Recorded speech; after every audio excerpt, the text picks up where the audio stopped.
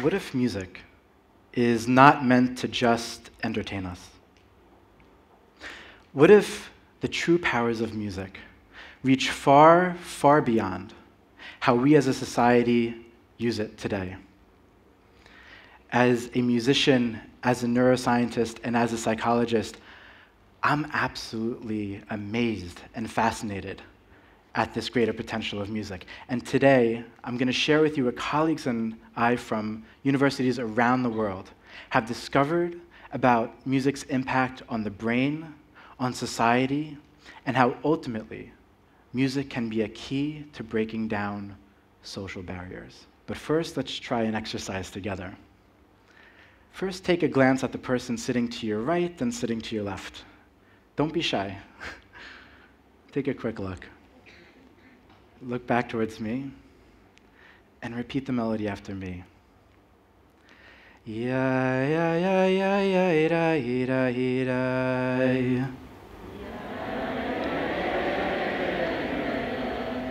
Ya ira ira ira ira ira ira ira.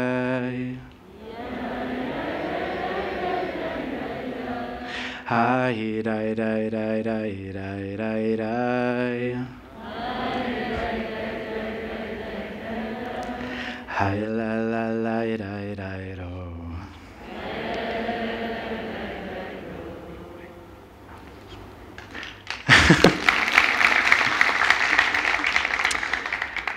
now, how many of you consider yourself to be musicians?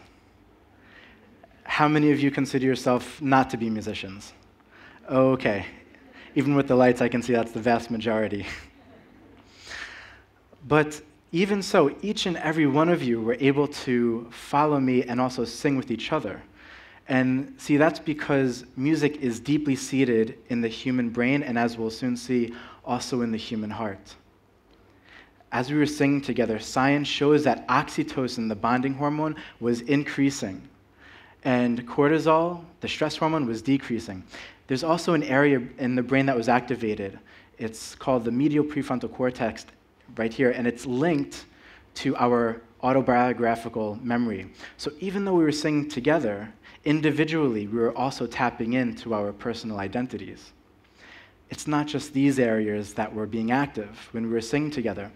In fact, my colleagues and I at Bar-Ilan University and the University of Chicago have been mapping the brain when people are playing music together, and we see that there's entire brain networks that become active, from empathy circuits to areas responsible for reward and motivation and for communication.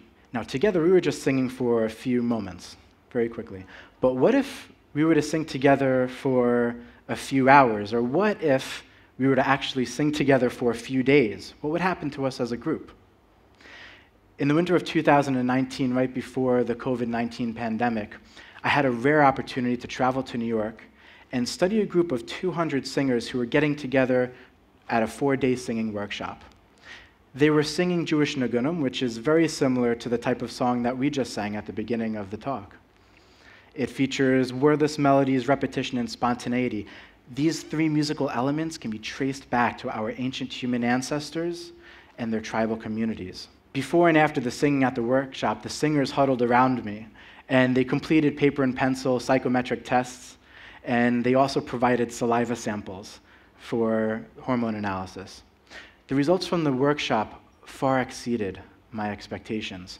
A sense of togetherness and bonding, on average, after the four days, increased by 37%, and any stress or anxiety that the singer started out with, after the four days, it had decreased by 33%. These are very high numbers for natural, non clinical, and non pharmacological activity. So, if together we were all to spend a couple of days singing, we would be bonded. We would have a sense of togetherness. We would have a shared community. Now, when it comes to social bonding, music doesn't just impact the brain, it also impacts something profound in us psychologically and behaviorally. A few years ago, I started the Musical Universe Project. It's an online platform where people can go online and take different psychological and musical tests and find out their scores immediately and also learn about themselves in the process. so far, 300,000 people have participated around the world. And the analysis of the data shows that there are direct links between people's musical habits and their personality traits. So, for example, if you like more energetic and rhythmic music, you're likely to be extroverted. If you like more mellow and romantic music, you're likely to be agreeable. And if you prefer more intense and rebellious music, you're likely to be rebellious yourself. And if right now you're looking at me in this very quizzical look because your playlist is filled with music from different genres and styles, you're likely to score high on a trait called openness to new experience. These findings about music and personality show us that through music, we're communicating our inner world and we're broadcasting that to the outer world without language. Now, some of these findings between music and personality are intuitive. But what's remarkable about these findings is that they appear in more than 50 cultures around the world. So, somebody in Brazil who enjoys intense and rebellious music is likely to share the same traits as somebody in India who likes the same type of music. The fact that these patterns are popping up all over the world, even with the diversity of languages and diversity of cultural histories, points to music as a possible bridge between people from different cultures. During the past several years, I've had the immense privilege to work with an ensemble called the Jerusalem Youth Chorus. Each and every week, this chorus brings together Israeli teenagers and Palestinian teenagers to learn songs from each other's musical languages. Here's an example of what the chorus created together. Settle down,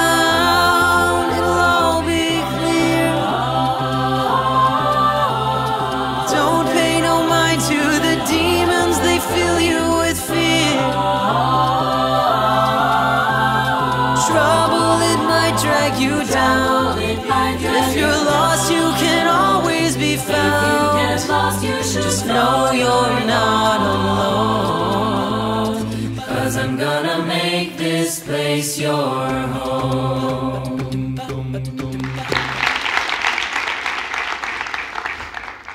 You know, I'll never forget the time when I saw the chorus for the first time. It was at a rehearsal, and I was sitting in the back with professors Ehud Bodner and Moshe Bensimon. And we watched in amazement as we knew the chorus was engaged in something much greater than all of us. When I had an opportunity to interview the members of the chorus, they spoke about how music was a common language between them, and how even though they have differences, through music they're able to stand side by side. The science also backs them up. Studies show that making music together can improve our empathic behavior towards others and also decrease false and negative stereotypes. This new frontier of how we can use music is why researchers are joining myself and musicians in a new initiative which is going to use music as a bridge not just between Israelis and Palestinians, but between people all around the world. We're even going to use music as a bridge with autistic people who find it often difficult to navigate their social worlds. In fact, at the University of Cambridge, at the Autism Research Center, my colleagues and I are about to launch a $1.5 million randomized controlled trial to study the effectiveness of music therapy in autistic children.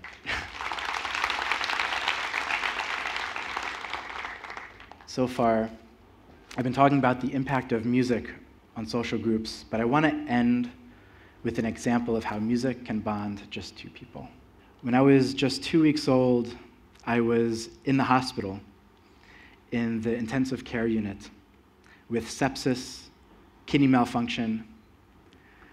I was hanging on to life by a thread.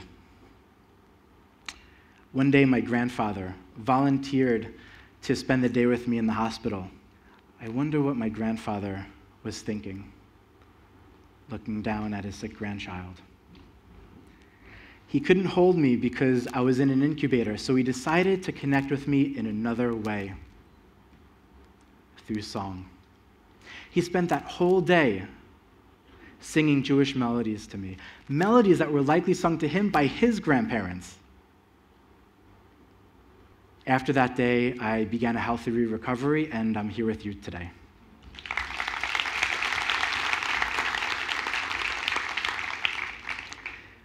My grandfather passed when I was just five years old, so I never had the opportunity to ask him what songs he sang to me that day in the hospital.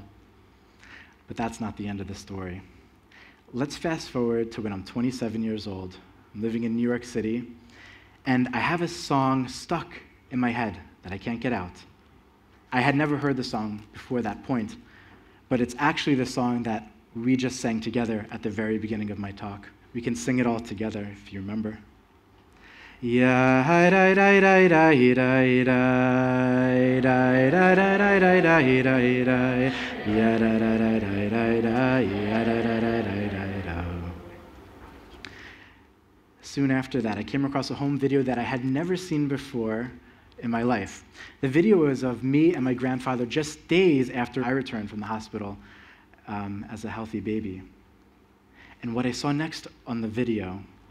absolutely blew me away. My grandfather is there holding me, and he looks up at the camera and says, Do you want to hear David's favorite song? And he sings, Lechado dili krat kala, pene shabbat nekabela, lechado dili krat kala, pene shabbat See, the song that he sang to me as a baby created such a deep bond that it's lasted my entire life, connecting me to my grandfather and to the music. We are only at the beginning of understanding music's full potential. But what we do know is that music is not just entertainment. Music is much, much more. For some reason, many of us have this idea that music is just about going to concerts or about listening to music on our earbuds, but it's much more. It's about connecting us, connecting us to ourselves and connecting us to others, others who are similar to us and others who are different than us. Given all of these scientific findings, as a musician, as a neuroscientist and as a psychologist, I encourage each and every one of you to do something this week, just one thing, that will bring music to your home communities. Don't be shy. Sing. In this time of social division and fragmentation, we need music. So sing. Sing to your children.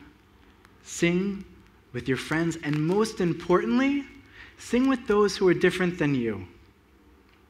And together, through music, we'll build bridges and we'll together step into a better future.